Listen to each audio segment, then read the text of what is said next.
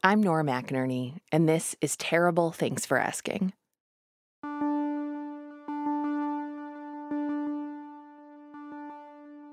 Some people just know from a young age who they want to be when they grow up. Not like how every really little kid says they're going to be a firefighter or a farmer or an astronaut. It's like, get creative. There are more than three jobs. But truly, some people, by the time they're tweens, say things like, I'm going to grow up to be an actuary. This is not a joke. I knew a kid like this growing up. Or I'm going to be a businesswoman, like my friend Cara said when she was growing up. And guess what? She is a businesswoman. Some people are just like that. Some people look around their little kid life and they just see what they're going to be. And some kids, look around their little kid life and they're like, mm, no, I don't see myself following any of these paths. I don't see myself climbing a corporate ladder. They don't know what exactly they want to do, but they do know in their heart that they're getting somewhere. Abdi was that kind of kid. He looked at the world and he saw possibilities that other kids just didn't see. He was in middle school when he started his first side hustle back then, like Jordans were really popular, right? I stand in line and then I'd buy like two of them and then like I'd sell them and make like a $50 or like $70 profit on it. And like middle school, like, you know, $70 is like a lot of money, you know? So I do that like twice a month. And then in high school, I really dived more into like side hustles and that's when I had like my first job and that's when I realized I truly love being an entrepreneur. Abdi knew, as he was selling sneakers out of his locker, that he found the thing he loved business, entrepreneurship. Salman found that same passion, but on the internet, when he makes his first toolbar for Microsoft Firefox. And it was really awesome, and like it got like 200,000 downloads, and it was like widely used, and you know, that was like a defining moment for me, like where it's like nobody knows who this kid is, nobody knows who I am, but they love and enjoy using my product.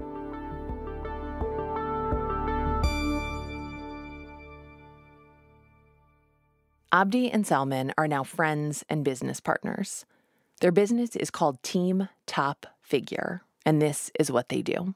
So, the main thing is really, you know, our agency, what we do is we really help clients scale online on through social media and that we help them with their creative work setting them up with you know visually uh, you know with the right videography and telling their story uh, through running ads that is one leg of our business and we also have you know for people who want to achieve you know financial freedom and really build their own e-commerce brands you know that's what we do on a day-to-day basis really help people do what we do and really help them online their business is the result of their passion for creating, for collaborating.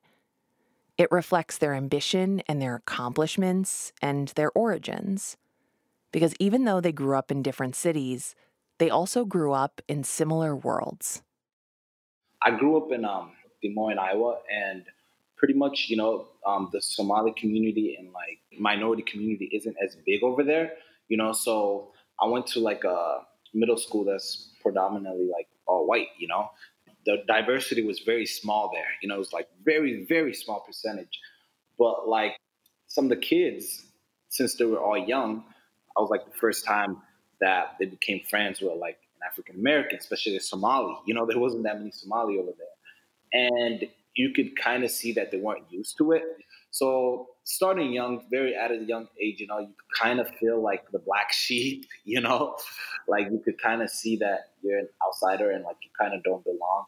But like the biggest thing for me was even at a young age, I started to realize like it only gets to you like when you let it get to you, you know?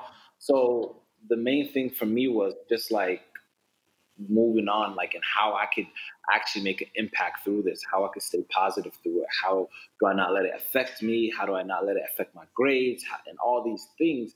And we weren't talking about it in school, but like you could definitely like see the vibe. You know, you could definitely see like you're you're not like as welcomed. You know, there was there'd be like birthday parties that some of so-called friends were having, and I won't get invited. Salman grew up right outside the Twin Cities in Minnesota in a predominantly white suburb at a predominantly white school. I was always kind of like the oddball out. Like one thing that really allowed me to feel comfortable and, and safe was in my environment of just being behind a computer and really building projects online. And that's where my passion really came about. It's not simply that the two of them felt like outsiders in their mostly white environments, although, yeah, there's that. It's that they also felt like outsiders within their family units. Abdi and Salman are each the children of Somali refugees. Their parents fled Somalia during the country's civil war, a diaspora where thousands of Somali people were resettled in Iowa and Minnesota. Which is a fun fact about Minneapolis is that it has the largest Somali population in the US. Isn't that neat? When Salman told his parents about how he was making toolbars online and he thought he could work for himself one day, they did not like it whatsoever. They were like, it's not making any money or anything like that. And it was like, focus on your schoolwork, focus on your schoolwork, focus on your schoolwork, focus on your schoolwork. Like, this stuff is, is, is not going to make you any money. Like, they came from a war torn country here, and their only way of success is go to school, get a job. That's it. That's literally the only route that they saw. They hadn't seen anything else. They hadn't seen any other sort of success, you know? Like this was somewhat working for them. My dad was able to pay our bills, move us into a better home. And like, you know, he was working constantly all day and night. And I would barely see him, but I would always just be on my computer all day long, just building things. And I was like, okay, there has to be a different way. Like they came to the United States to really you know, just make it and just to achieve the uh, financial freedom and watching them struggle to work two jobs and just, you know, the main thing to them was, hey, education is the way for success. That was literally the only formula that they were taught. And really having my dad be a school teacher, that was one thing they preached on us consistently. So, you know, really they didn't really support us to do extracurricular activities and things like that. They were just like, hey, focus on school, focus on school, get a job, get a job. That's what Abdi and Salman each do. I mean, they have their passions and their side hustles, but they also get good grades and they work and they help with the bills. And after high school, they end up at the same community college, which is where our two heroes finally meet. In the place where so many friendships are known to blossom Instagram. And while I was working there, I was just on Instagram and I was sharing, like, hey, I build websites. And then we bumped into each other at Anoka Ramsey. And like, he saw that I was like, you know, really vocal about this. And he was like, I can really find you clients. Like, let's work together. And that's how me and Abdi met. And like, you know, he, he came over to my office and he saw what I was doing and everything. And he was like, hey, let me split the run with, let's work on this and let's get clients together. And that was like a defining moment. And like, ever since we've hit it off and like we've just been like really helped so many small businesses in Minnesota. And that was like uh, the first agency we started together called First Web Group. And I found like an office space. It was like four hundred dollars a month. Like I, I went and signed it. It was like you know a twelve year lease. I didn't even have the money up front. He meant a 12 month lease, but the idea is the same. He was betting on himself. And it's that office where Abdi started working too where the two of them started their own company, a digital marketing agency they called First Web Group. Abdi already had a job, though. He had an internship at a large medical device company, which, if he was really going to go all in with Salman, he needed to quit, which he needed to tell his parents. And as soon as I told them that, they were like just shocked. You know, they were just like, no, no, no, no, no, no. But it took some convincing, and they were like, okay, you have one year, you know, prove yourself in one year. And that year was really bad. You know, the first year of business is not easy, especially I had like no guidance, no knowledge and everything. And it was just bad. It wasn't all bad. It's just they had some learning curves because they were 19 years old and they were just starting out, and because it's very, very hard to figure out your value in the marketplace when you're not just making things for your friends or your friends' friends.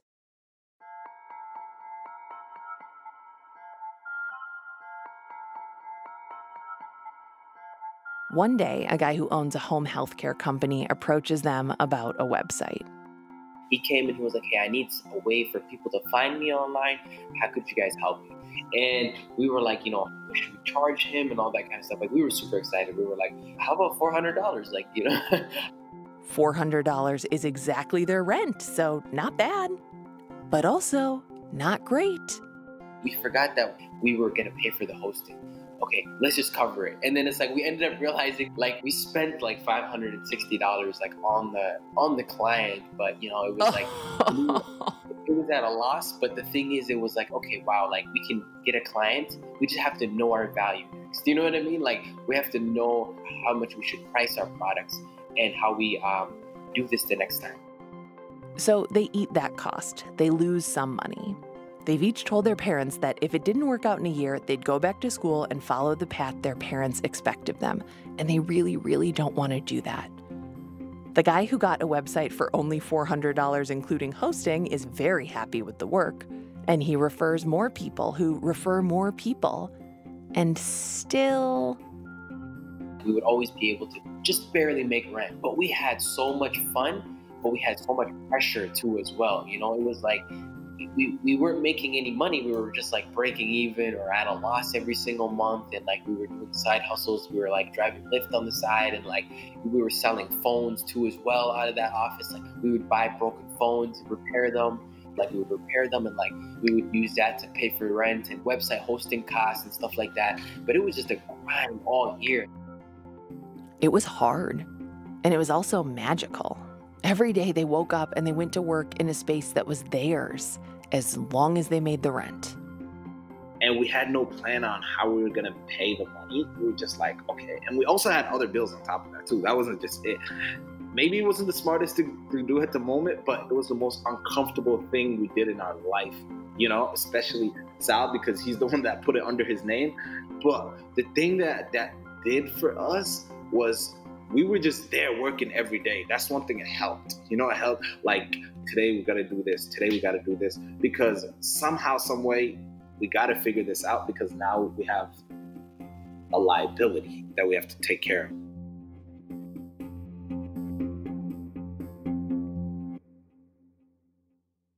They each played to their strengths and made the other stronger. Salman made the websites, Abdi kept the clients happy, and they kept each other on track, which is really difficult and very important.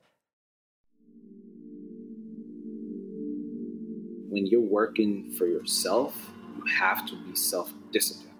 You have to like teach yourself these things. You have to tell yourself, wake up at this time. You have to tell yourself, you got to leave now. You have to tell yourself, you have to do this. It's doing the things you don't want to do because you essentially don't have a boss. You, you're the one that's telling yourself these things. And it's so easy to forget that. It's so easy to forget that and just pull out your phone for extra five minutes. Five minutes turns into 10 minutes, 10 minutes turns into 15. And there's nobody telling you, get back to work, get back to work, get back to work. And that was so hard for us at the beginning, finding that amongst ourselves and telling ourselves, like, get back to work, fix this, fix that, you know? We read Think and Grow Rich. We read uh, Rich Dad Poor Dad. Like, you know, we we went to networking events and that's how we met other mentors that would really like you know um, support us and really help us like hey you know hey i can help you guys and you know educate you guys on what to do next and all that kind of stuff. And my mentor was you know he was a he's also he's a african american you know business owner and i met him at a networking event and you know he was just he saw how we were building websites and he was seeing how we were really active on social and everything he coached us and mentored us and the one thing that really stuck out to us was mindset was really the key to success. It didn't matter what we did, it didn't matter what we were doing. At the end of the day, we will always remain positive in any circumstance, whether we lost a client, whether we had a bad deal happen, like, you know, where we didn't make any money or anything like that, where we got taken advantage of. At the end of the day, we stayed positive, we stayed true to each other.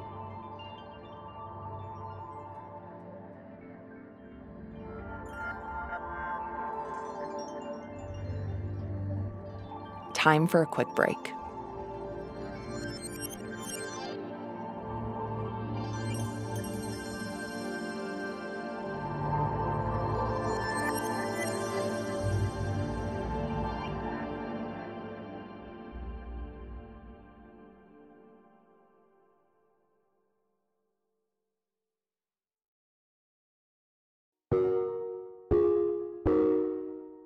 We're back. Abdi and Salman are two entrepreneurs who are building their business. They're not making a ton of money yet, but they have a year to prove to their parents and themselves that This dream isn't crazy. Even though we weren't making like uh, much money, we didn't let that really control our situation. We didn't let that we didn't let that control how we operate the business. We didn't let things like that get to us. The biggest thing for us was did we do enough today? You know, did we do more than yesterday? We lacked like previous knowledge in this industry. You know, we were learning as we were going, you know, and that's why, as he mentioned earlier, the networking events were so huge because we were just learning so much from that. You know, we were just learning something new every day. That was the thing that we always said learn something new every day. From their mentor, they've learned the importance of mindset to not let anything get them down and to keep pushing their business forward. But it's not all about mindset. It wasn't when they were kids, and it wasn't as young adults starting a business. The two of them are still black in a state, Minnesota, that is very white. And not just white, but home to the Minnesota paradox, a term coined by University of Minnesota economist Samuel L. Myers that reflects the realities of the state.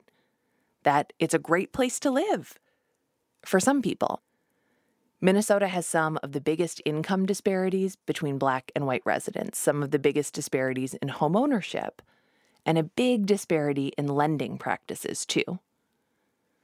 A 2015 study of the 50 largest banks in Minnesota showed that minorities were disproportionately more likely to have their loan applications rejected than white applicants, even after controlling for qualifications. Abdi and Salman don't know all of that. They just know that when they walk into networking events in Minnesota, majority of them were predominantly white middle-aged men. The networking events we were going to, we would stick out like a sore thumb. Like we were very active on Meetup.com and very active in Facebook groups. You know, we would always go to like you know meetup groups and like in, in, the beginning it was very cold. Like people wouldn't approach us. They would just think that we were with like some sort of school project or something like that you know? And like that was one of the things that really like really like messed uh, you know like with our like our heads but we didn't let that get to us because it was just so frustrating to deal with that you know? There was not a single somali or even african person at these because they don't really go to these like type of bars or anything like that. Like so we would always stick out like a sore thumb everywhere we went. One thing we did is we really kept on going and just really building, um, uh, you know, our business and kept on going and really showing proof of like, okay, hey, what we're doing is working. And we just kept on going and kept on going and kept on going and really like we would just get feedback from them on, okay, what do we need to improve next? On top of their agency work, they also start to develop an app.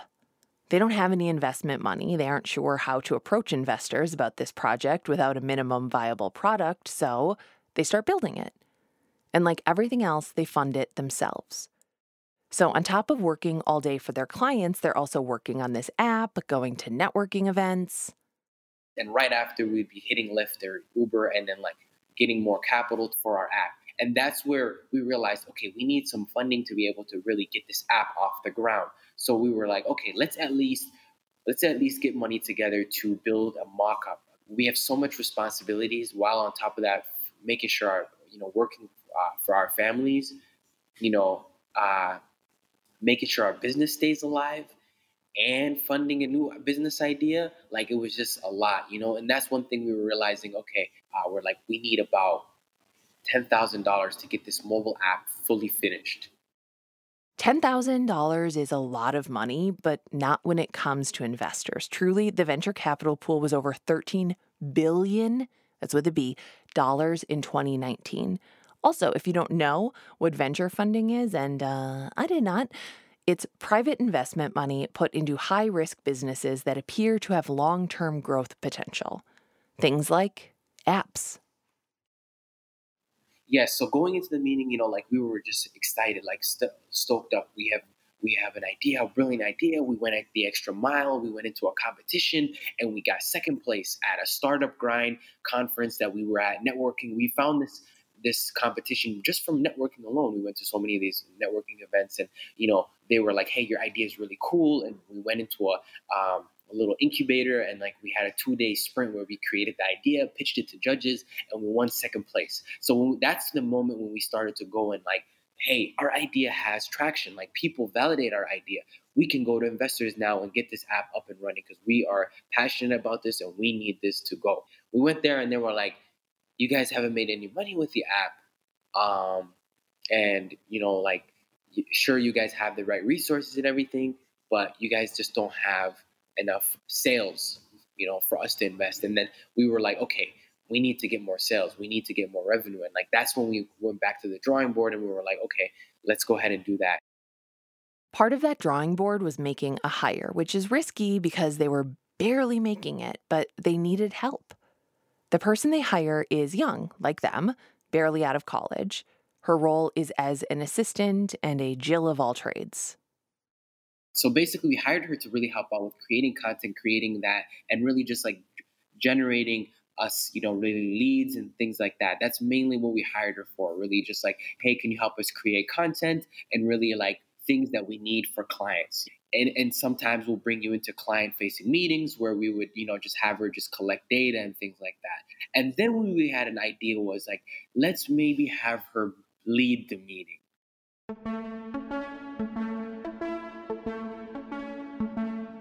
Here's what happens in these meetings the app is the same, the idea is the same, but when she leads them, they start closing business. The app starts making money, and yeah, she's good at her job, and also, she's a young white woman, presenting the work of these young black men to other, older white people. And that's when we realized a stark reality that maybe we need to sit on the back burner of our company. So maybe that's a coincidence. Maybe she's just that good. But when you look at the bigger picture, at that 13 billion in venture funding, you will also see that black founded companies received only 1% of that 13 billion. 1%. So that 10,000 they are seeking is like 0.0008% of the total venture capital pie. It's nothing. Abdi and Salman are seeing this happening to their business, to themselves, and they're also not going to let it get to them. The app is working, their client work is picking up, and they have plenty of work to do. Remember, they believe in mindset. They've just moved into a much better office with really nice amenities. Just like have a routine, you know? So we just do work and work out at like 6 p.m. every day. You know, we were just working out, working out, working out, working out, working out, you know, because, you know, health is wealth.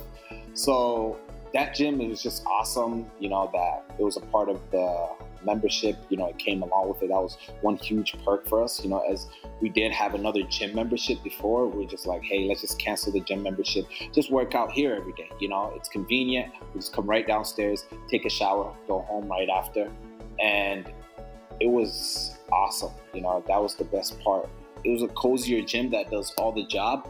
And it also had a shower there, and it was just downstairs of our office. So it made total sense.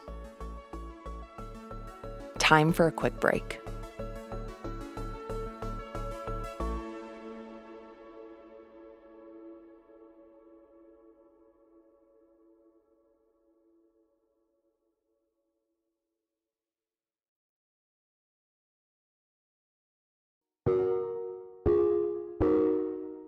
We're back. Abdi and Salman and their company are all based in Minneapolis. They live that Minnesota paradox we talked about before. On May 25th, George Floyd was killed by the Minneapolis Police Department. By the end of May and beginning of June, the city of Minneapolis and cities around the country were exploding into a civil rights uprising. The truth about Minneapolis, always listed in these best places to live articles, is that it's a great place for white people to live. The city is extremely segregated, and the fancy new office that Salman and Abdi rented is in an affluent and very white neighborhood, the kind of neighborhood where multi million dollar homes line a chain of lakes. One of those lakes was called Lake Calhoun, named for John C. Calhoun, a proponent of slavery who was a statesman of South Carolina. In other words, he didn't even go here. We named a lake after him. In 2017, the Minneapolis Park Board petitioned to change the name to Bde-Maka-Ska, the Dakota name, and some people in the neighborhood went off. One guy wrote an op ed in the Minneapolis Star Tribune titled, why I funded the lawsuit to save the name Lake Calhoun, and I quote My motive to fight for Lake Calhoun had less to do with trying to save the name itself and more to do with fighting for fairness and justice for everyday Minnesotans. Everyday Minnesotans just want to be left alone and not bullied into changing the names of our lakes, our streets, our schools, our landmarks, and our cities. We're sick of the quote, holier than thou, end quote, morality tone coming from politicians, media, and activists.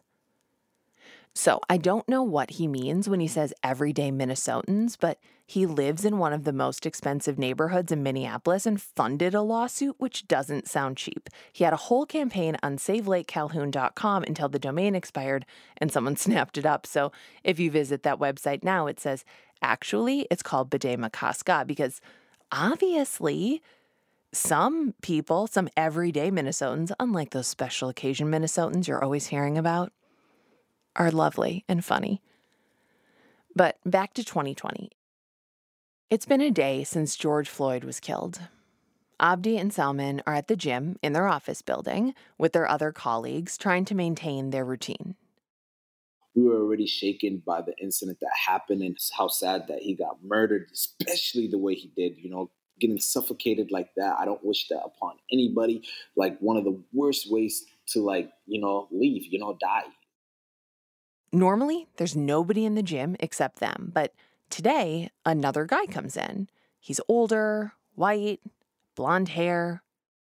You could tell, like, you know, really right away from his demeanor and everything, you know, looking at us from like a side eye, just like, you know, making us feel uncomfortable. And, you know, we, we just proceed to just continue to working out. And, you know, we were, we saw that he had, you know, a weird energy vibe from him. And, you know, we were just working out, you know, just going through rotation, doing our back workouts. He was looking at us oddly. And, you know, he started working out next to us and just staring at us. You know, it was just felt uncomfortable.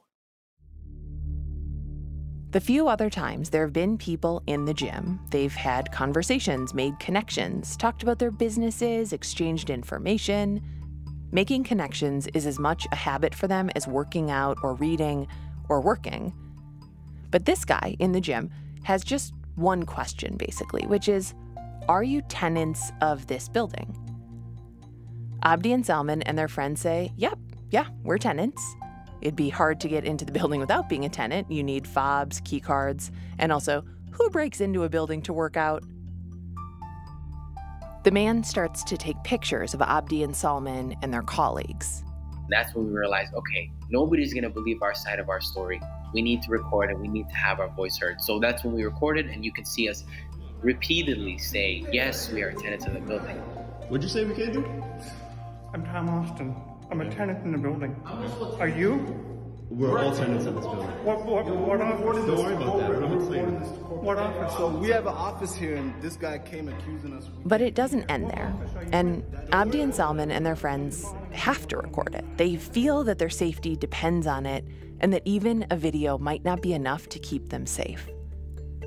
The man threatens to call 911, to call the cops, which is threatening in any circumstance, but particularly in a city where black people make up about 20% of the population, but are subject to 60% of instances where the police get physical. Police use force on black people seven times more than they do for white folks. You see, we're dealing with racism here. Hey, this is Tom Austin. I'm in the gym the mosaic. There's the whole. I don't know what to do here, but there's a whole bunch of people who don't appear to be part of the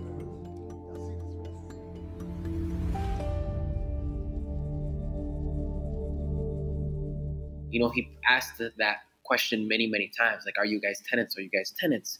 And it's like, there is no reason that another tenant should go up to another, another tenant and say, hey, show me your key card, show me your fob, or show me, you know, he could have simply uh, sent an email to like the management office and they could have verified it and then it would be end of story, like no issues. And the thing is, in the heat of the moment, we were like, let's just let's just show it to him. You know what I mean? Like we we but then we realized like, hey, come to think of it, we don't need to show him. Like there is no reason to. You know, it's like we never asked him that. You know what I mean? Like we never came in into his face and said, hey, show me your key card. You know, and it's like he would have felt just as uncomfortable as as we did. They leave the gym when they're done working out and they put the video up on their Instagram page. They don't know who this guy is. They just know that in the building where they've paid rent and worked out for the past year, they were asked by a stranger where their key card was. All we wanted was just people to see what we go through every day, simply, you know, and how you handle yourselves when these type of situations happen. Because they want a reaction out of you. You know, you shouldn't give them the reaction that they expect. You gotta conduct yourself with respect, gotta hold yourself correctly, and just document it. You know, our phones are so powerful. Just pull your phone out and document it because if we did not record this, people would have not believed us. This is how we found the story, how you may have already seen the story because it went very viral. Very, very viral. Say that again very, very viral. We're just in our like apartment. We're just like, wow, oh my God. Like, you know, like this is just overwhelming. Like we didn't know what to do. We didn't know what to say. And like we were celebrities were reaching out to us. Like our phones couldn't stop buzzing. And it's like this is so new to us. We've never went viral before. So it's like when this happened to us, we were just like, okay, what do we do? What do we do? And automatically the first thing we could think of was like, hey, let's not respond to anybody because number one, the media can take it vary and spin it however the way they want to or anything like that. And we don't want to say the wrong thing or anything like that. We want our voice to be heard in the right manner. So what do we do? We call our mentor right away. We speak with him and he's like, hey, you know, just remain calm, you know, reach out to the right people, uh, reach out to uh, an attorney. Here is his number you know, and like we just went about it like as if it was a regular business. Uh, and like we were like, hey, let's record a public statement that was very professional. Like let's just let's just be us, you know, let's just be us. Let's just be who we are, and let's just allow our voice to be heard as genuinely as possible. It doesn't take long for the internet to do its thing, and the internet found out who this guy was.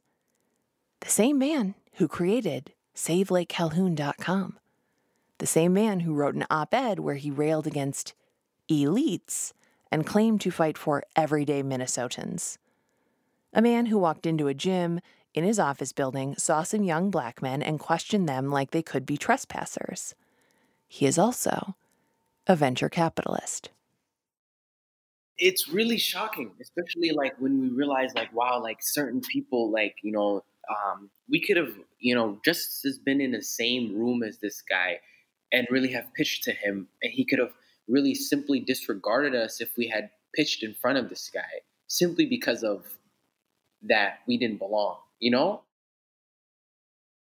He could have seen them as peers, as colleagues, as an opportunity. But instead, he asked if they were tenants in the building and he said he was going to call 911. In an email he sent to reporters, he insists that he was not racist just stupid. But, like, here's the thing we don't get to go back and rewrite our interactions and assign intentions that override the impact of our actions. We don't get to decide what wasn't a big deal because the default settings of the world we live in as white Americans is set to white. That's how a person can say that a lake named for a proponent of slavery isn't connected to slavery because it's not for a person like that because the impacts of slavery haven't adversely affected him. Threatening to call the cops is not dangerous to him because the cops typically don't kill people like him. So there were consequences for this man's actions. The guy that owns the building took his lease away. You know, he lost his lease. And it's, and till this day, like, we don't wish anything bad for him. You know, we still wish Tom the best. In that same email to reporters, this man said, quote, My lease in the office was terminated for the sake of appeasing mob rule. He also said he was no longer CEO of his company. He wrote to us, too. He says he's pissed off that anyone calls what happened in the gym that day racist. He also says he would be, quote, extremely afraid of hiring, quote, a black guy now, that he doesn't quote, trust blacks. And he says that, quote, the vast majority of white people who speak truthfully in confidence feel the same way.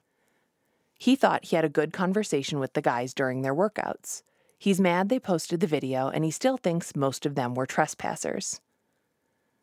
Abdi and Salman say the guys who were with them are colleagues. In the end, we don't know who the property management company believed because they didn't get back to us, but they did terminate that other man's lease. Abdi and Salman don't work in the building anymore either.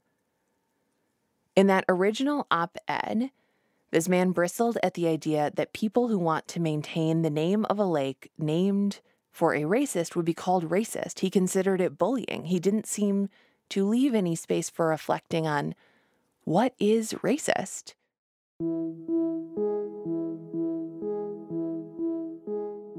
We made this episode very carefully. We make all of them carefully, but the reason that we left the most viral part of the story for the end was because, most of all, Abdi and Salman and their business deserve to have their whole story told. To not be defined by one viral video or one interaction with one person, but to be a full story of drive and entrepreneurship and stick to itiveness and whatever other old timey phrases you can come up with that mean a person who works really hard for their dream. A really interesting detail about that day and that viral video is that Abdi and Salman and the rest of their colleagues didn't leave after making that video. They didn't record the interaction and bolt. They stayed for 45 minutes and finished their workout. And the next day, they went back to work at the office they paid for because they know where they belong and they know what they're worth. And it's like something that we really now can just like not only just like inspire so many people that look like us in business, it just allows us to really, really, really, really, really, really like set an example, not only to like immigrant communities like too as well, but also anybody who's just aspiring to be an entrepreneur. Like we really want to be that example for that um that that that kid who goes off and decides to do his own thing. And like that's our vision with Team Top Figure. Like you can be a top figure and you can belong in any place, any sort of atmosphere, whether that be corporate, whether that be uh, office building, a gymnasium, all that.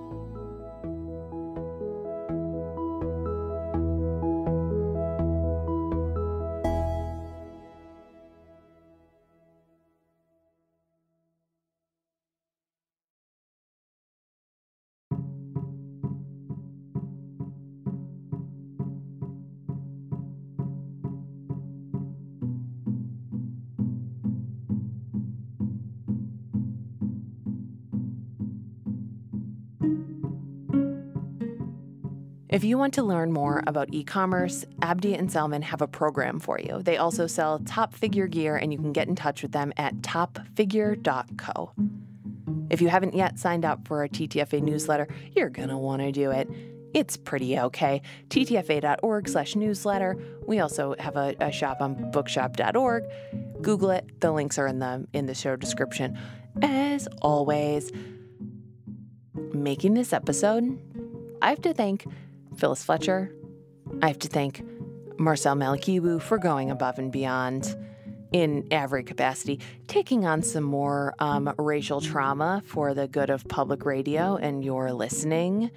Uh, they're very talented people, and I am very, very grateful for their uh, leadership and their talents. And uh, always have a third thing when you're making a list. That's what Liz Lemon taught us uh, Jacob Maldonado Medina, uh, additional production help, uh, Hannah Meacock Ross, still on the team, Jordan Turgeon, still employed. This is I'm just going to re- read the credits as people who still have a job, all of us. Um, knock on wood. Don't ever just say that, Nora. Geez, Louise, what's wrong with you? I'm Nora McInerny. This has been terrible. Thanks for asking. I don't think I usually say that at the end of the show. I'm recording this in a closet. It is 10 o'clock at night. This is later than I normally stay up. I'm sweating. I'm sweating. I also realized that in this episode I said Minnesotan with a hard T.